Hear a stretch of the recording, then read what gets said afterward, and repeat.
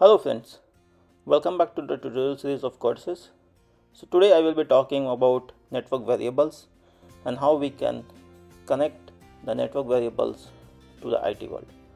So in order to connect, I'm using here a Wago PLC so in which I'm, I'm will be connecting a 420 milliampere source and through that I will be passing the data to a network variable and then utilizing on the IT side over Node.js. So let's see how we can start. So in order to start we need to first add the network variable which will be the network variable is sender. We need to configure the network type as a UDP and we have to give list identifier so which it can be identified on the receiver side. In the settings we need to provide the UDP port number. So this is the basic configuration we need to add and define here the variables. So we can define uh, variables uh, as a global variables and directly here with a data type or even we can encapsulate into a structure and then we can define. So it is up to us how we can need to utilize this variable and define it here. So i'm defining it in a basic structure so that uh, it will be easy to understand. So once we have defined let's go and configure uh, the variable here on the 496 card and then I will be utilizing that variable into the data which I will be passing over the network variables. So let me map these variables. So I have 4 to 20 milliampere signal uh, connected and then two boolean signal which I will I will be using.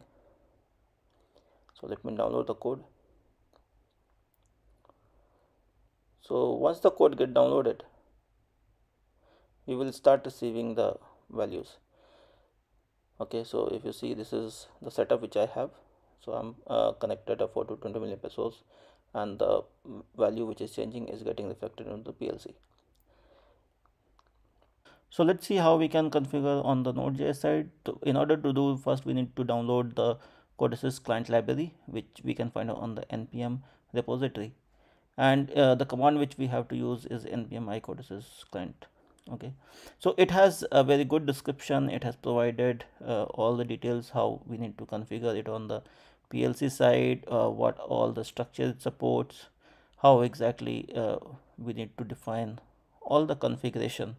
So uh, good work by the developer uh, who has provided this much information and uh, so we need to I'm utilizing the VS code and there uh, we need to put the command uh, the npm icodesys client. And then uh, once we hit enter it will start downloading that package in the local folder and the structure which we need to utilize is so we need to first uh, uh, call the codesys utilize the codesys client and then we have the ISE libraries so first we need to define the receiver so the receiver we need to define a local address because I'm connecting to the PLC and this is running on my local uh, laptop. So we need to provide the adapter IP on which which is configured on the laptop or the system which you are connecting to the PLC. So we don't have to provide the IP of the PLC here. The local address is suggesting for the IP of the machine on which Node.js will be running.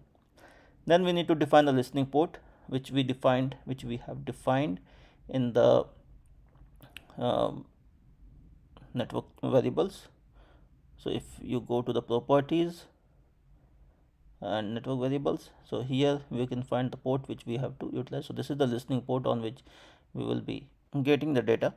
Then we need to define the structure uh, in which the variables has been defined. So let's first uh, define the structure. So uh, as it is a structure so i am using struct and then we can uh, go to the PLC and let's get uh, copy the structure which we have defined in the network variable list.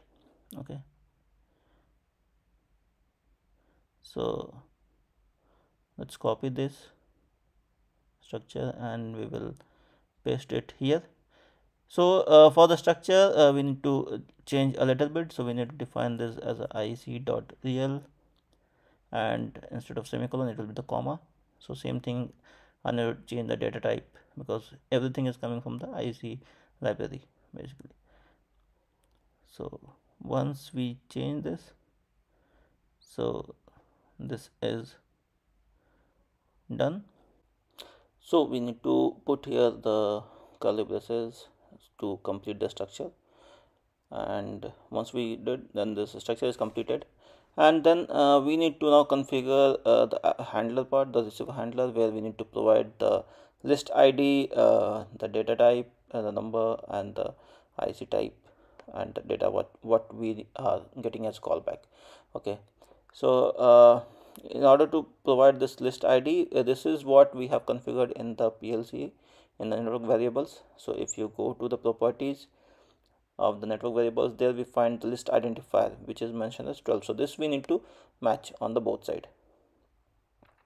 So once it is done uh, then yeah we can define inside the console log uh, the data which we need to put in on the console and then we have the listeners so on which port uh, this will keep uh, listening the changes. So let's uh, run uh, this program.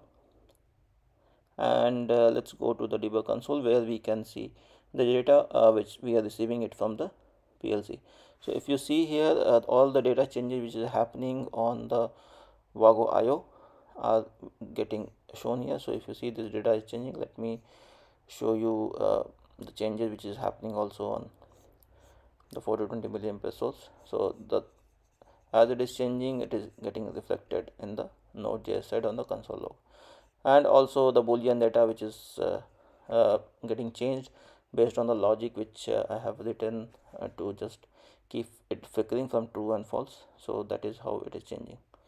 So yeah in this way uh, we can uh, receive and configure all the network variables into the node.js and we can see the data uh, it is purpose based on the need.